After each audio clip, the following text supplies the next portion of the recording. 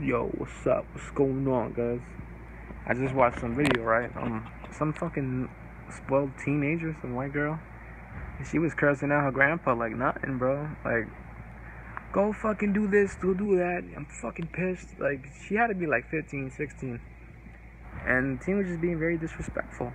I watched it on YouTube. It was it's trending right now as we speak. Um, for an iPhone, some shit like that. It was an iPhone appointment she had. She was just being fucking rude, man. This, this, this, these teenagers. This is what I'm talking about. These fucking teenagers, man. Very disrespectful. They got no manners, no respect at all for nobody, man. That was her own grandfather, and, she was talking to him like nothing, like fucking this and that, cursing him out. Like he's doing you a favor and taking you for the iPhone appointment. You know what I'm saying? You got the nerve to do that, talk to him like that. If that was my freaking granddaughter, I would whip that ass in front of everybody right there. That's the problem. When you hit your kids, all of a sudden that's a, that's a, that's a crime that you get in trouble because you hit your kid. Nah, man, fuck that. They gotta have some respect.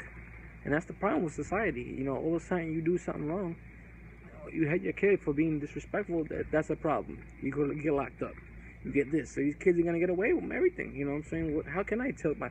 How can I hit my kid? You know, how can I t- let, let my kid talk to me like that? You know, they gotta have respect. You gotta discipline them somehow, right? And I guess that white girl wasn't, you know, desperately pissed off over a fucking iPhone. Me, man. Not my grand. If I was my grandchild, I would have whipped her ass right there, man. I don't give a shit. Call the cops. Call the cops. You being disrespectful. And that's the problem. These, these these kids these days, that's what I was talking about. They're very disrespectful. If it's not their way, they'll go throw a tantrum and they'll, they want to do things very disrespectful. And I bet you that girl's not even educated, man. She doesn't fucking know shit. You know, I wipe her ass right, probably little ass white girl, man. Disrespecting your grandfather like that. It's fucking stupid, man. Y'all can go see it, the video. It's trending wild on YouTube. At an iPhone, fucking iPhone, over an iPhone, at an iPhone appointment. Stupid ass girl, man. I'm telling you, man, these kids, kids these days are all fucked up. And this is the future, guys. It's scary.